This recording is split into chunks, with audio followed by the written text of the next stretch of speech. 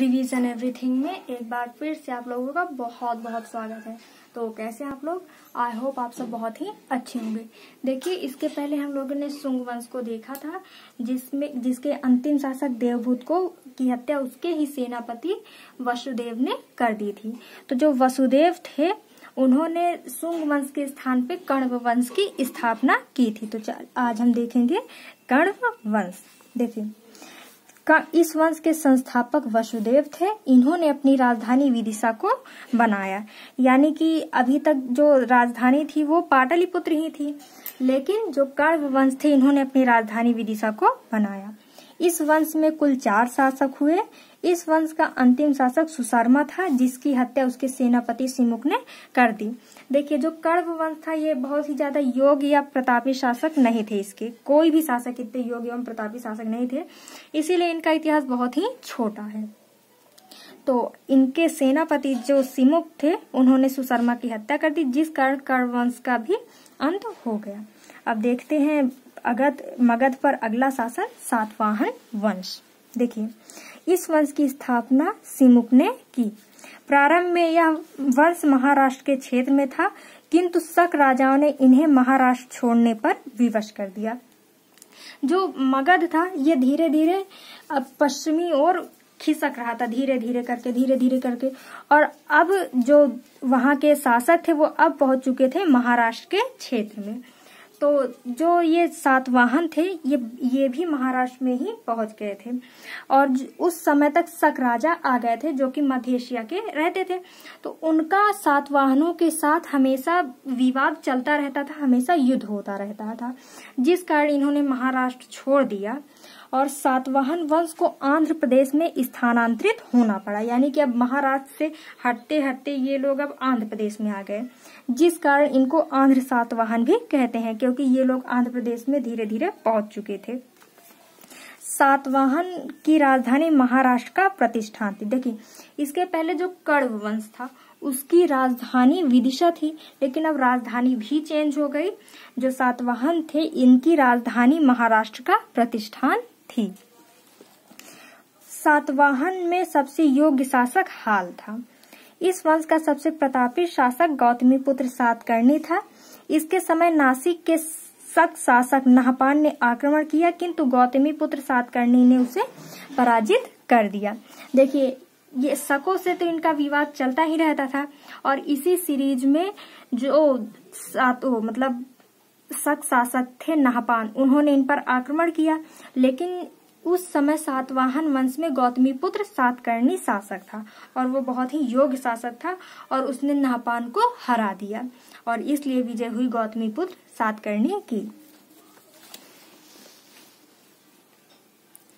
इसकी जानकारी, यानी कि ये जो युद्ध हुआ गौतमी पुत्र सातकर्णी और नाहपान इसकी जानकारी महाराष्ट्र के जोगल थम्बी से मिले, सिक्कों से मिलती है, जिसके एक और गौतमी पुत्र सातकर्णी एवं दूसरी ओर नाहपान बना हुआ है।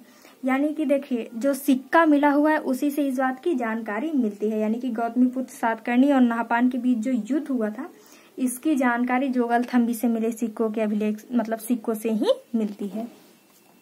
इस वंश का अगला शासक वशिष्ठी पुत्र पुल्लुमावी था। इसके समय पुनः उज्जैन के शक आक्रमण किया। इस बार शक आक्रमण का नेतृत्व रुद्रदामन कर रहा था, यानी कि फिर से शकों ने ही आक्रमण किया और इस बार उज्जैन के शक शासक ने आक्रमण किया। और जो शक शासक थे, इस बार शक का नेतृत्व रुद्रदामन कर रहा था। रुद्रदामन ने वशिष्ठी पुत्र पुल्लुमापी को पराजित कर दिया, किंतु दोनों के बीच वैवाहिक संबंध स्थापित हो गए। देखिए, जो इस बार जो रुद्रदामन थे, वो बहुत ही ज़्यादा योग्य थे। जो शक शासक रुद्रदामन थे, वो बहुत ही योग्य थे। इसीलिए वो जीत गए। किंतु जो सात वाहन शासक वशिष्ठी पुत्र पुल्लुमावी थे, ये हार गए थे। लेकिन दोनों के बीच वैवाहिक संबंध स्थापित हो गया, जिसके कारण सारी समस्याएँ ही खत्म हो गई। इस वंश का अंतिम शासक यागिश्री सातकर्णी था, यानी जो सातवाहन वंश था, इसका अंतिम शासक यागिश्री सातकर्णी था। ब्राह्मणों का सबसे पहले भूदान सातवाहनों ने ही देना शुरू किया, किंतु सर्वाधिक भूदान गुप्त शासकों ने दिया। इसको याद रखिएगा कि भूदान की व्यवस्था सबसे पहले शुरू कहाँ से हुई? तो जो भूदान की व्यवस्था थी, वो शुरू तो सातवाहन के समय से हुई।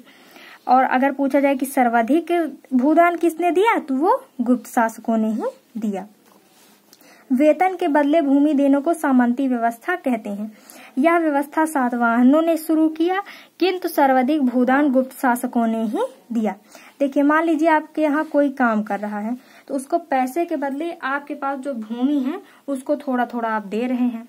इसी को सामंती व्यवस्था कहते थे, यानी जो राजा होता था, वो अपने मंत्रियों को थोड़ी थोड़ी भूमि देता था, यानी वेतन के बदले भूमि देता था। और इसी व्यवस्था को सामंती व्यवस्था कहते थे।